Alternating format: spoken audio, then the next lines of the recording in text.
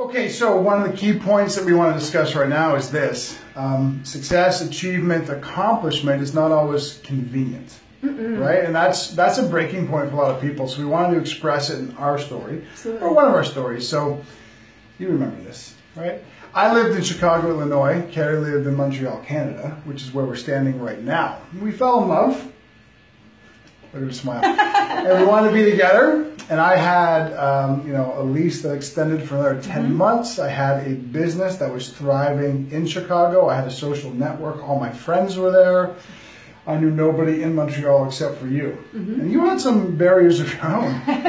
They're not really barriers, but I had two kids. Yes. Uh, a job, a life. Um, yep. I couldn't just pick up and move right. to another part of the world. That's part of the issue is that Carrie couldn't leave, right? Yeah. She, she were kind of grounded by your kids and your yeah. job. And, and I was, you know, I was a bit more transitory, but I had a bachelor lifestyle and it was a 17 hour car drive and it was changing to a whole different country. The whole point we're trying to make is this. One day at 11 o'clock at night, I literally just texted you and said, I've had enough. I'm coming home to be with you.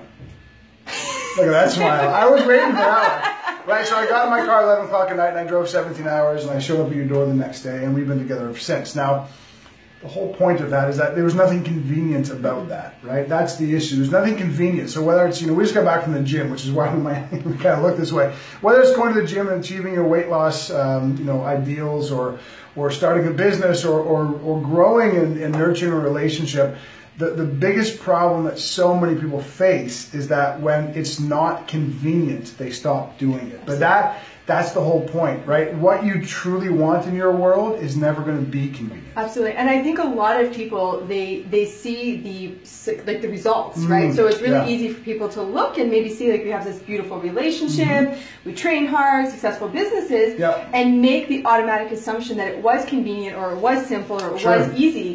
But the reality is, is like you said, that nothing is convenient. Nothing, you know, right? There's a process to yeah. get there. A massive process. It can be simple Yep. But never mistake that for convenience. Absolutely. And that's the point. What you want, what you truly want in your world, the only thing stopping you is that you have decided it's inconvenient. Change that perspective, you get what you want. Absolutely. Thanks for watching. Bye.